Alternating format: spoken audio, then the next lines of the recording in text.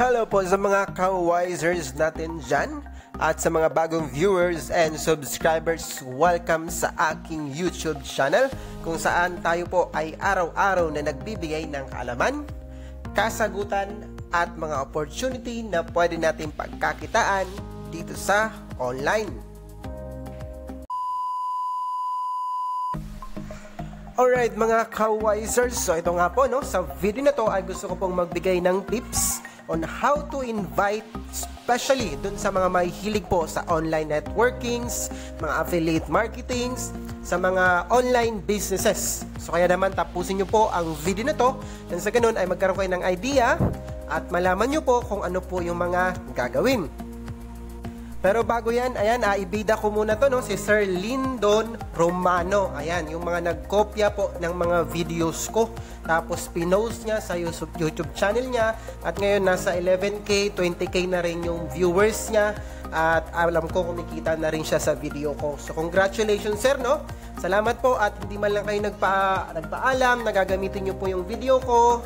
So, ina-upload nyo lang ng ina-upload, tapos kayo po yung nakakinabang. Congratulations po sa inyo, no? God bless po, God bless po, and shout out po sa inyo. And now, ayan, so ta enough muna, no? Doon kay Sir Lindon, kasi minsan nakakainis din, pero uh, God bless na lang sa kanya. So, number one po, no? Number one, on how to invite, very important po, know your business and keep knowing your business. Actually, this is number one rule pagdating po sa pag invite or pagsali sa mga online networkings or affiliate marketings nga katulad ng sabi ko, kailangan aralin po natin kung ano po yung mga sasalihan po natin, no? So very important po 'yan. Huwag kayong magbibitaw ng pera agad or masisilaw sa laki ng uh, ino-offer or sa laki ng pwedeng kitain tapos hindi mo man lang inaral, nagbayad ka na lang bigla, tapos pagsisisihan mo lang pagdating sa dulo. So wag po ganon, okay? Mga kawisers, wag po ganon. Pag-aralan muna kung ano po yung mga sasalihan ninyo. Very important, very important po yan. Ano yung sistema dyan, di ba? Paano ba yung kalakaran?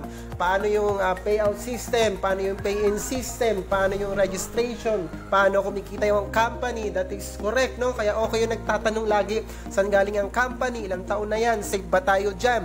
So, dapat tinatanong po yan, no? Bago mag-start. And sa ganun, walang pagsisihan pagdating sa dulo. How to make money? Paano kumita dyan? No? Magkano pwedeng kitain? Paano magsimula? So, dapat tinatanong po yan. Next, risky ba yan, no? Risky ba? Kailangan matanong din natin yan. Risky ba yan? O anong, um, pwede ba tayong sumali dyan, no? Um, maiiwasan ba yung risk? Although lahat naman talaga ay mayroong risk, pero paano natin maiiwasan yan or paano malilesen? So, dapat yan ay kinukonsider at inaaral po bago sumali sa kahit anong networking business, online business, or affiliate marketing man yan. Next po ay dapat may marketing strategies or marketing plans. Pagsali, huwag pong pabayaan. Okay? Huwag yung nagsumali ka lang, wala ka ng pakialam, silip-silip ka na lang kung ano nangyayari. Huwag pong ganun, no? Kung sasali po tayo sa mga ganito, kailangan bigyan natin ng kahit konting oras po, no? Konting pagpaplano. Marketing strategies, very important po ito sa mga ganitong style ng kitaan. Kasi pag wala po tayong ganito, Okay? Panahintay lang tayo sa darating.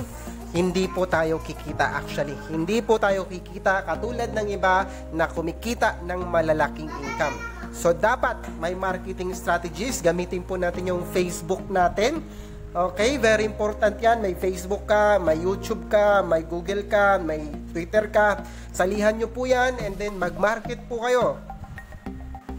I-share nyo po dyan, add nyo po yung mga groups, I mean, sali kayo sa mga groups about online investment, about paano kumita, marami po mga groups dyan, eh, sali kayo dyan, doon po kayo mag-market, sa mga friends, no, lalong-lalo doon sa malalakas yung loob, salute po sa inyo, no, na kaya nyong i-share yan, pati sa mga kamag-anak nyo, sa ibang mga friends niyo katrabaho, very important, may marketing strategies po, no. So, dapat inaaral dat- dat- natin yan. Dapat may mga prospect tayo.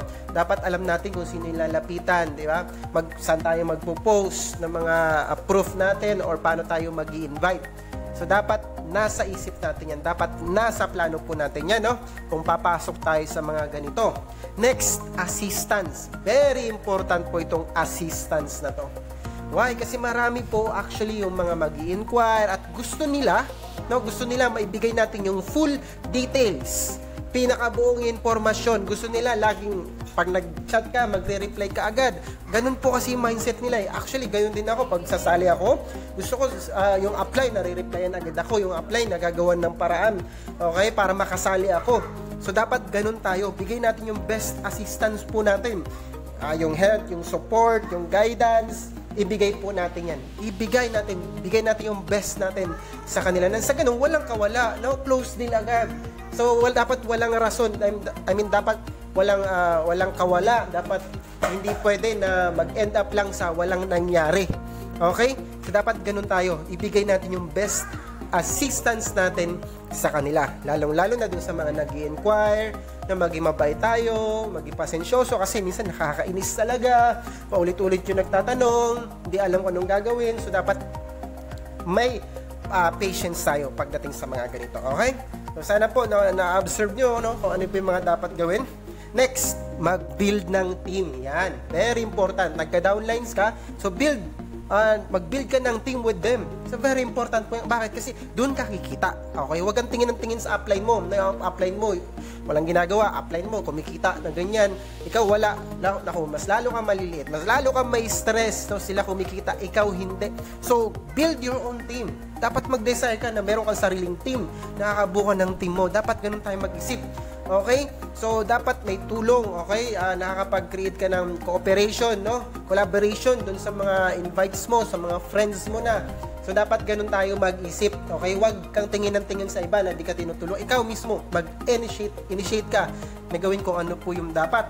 Okay? And lastly, very important, consistency. Consistency is the key. Okay? Huwag pong mapagod, huwag magsawa, tuloy-tuloy lang po. Tuloy-tuloy lang sa kung ano man po yung sinalya mo, na ginawa mo nang sa ganun, magkaroon po ng resulta. So sana po nakatulong po no, yung video na to sa inyo, lalong-lalo dun sa mga uh, gustong kumita pagdating sa mga ganitong uh, kitaan, sistema ng kitaan. So sana nakatulong po sa inyo to. Maraming salamat po sa panonood. God bless po sa lahat. Samahan nawa tayo ng Panginoon.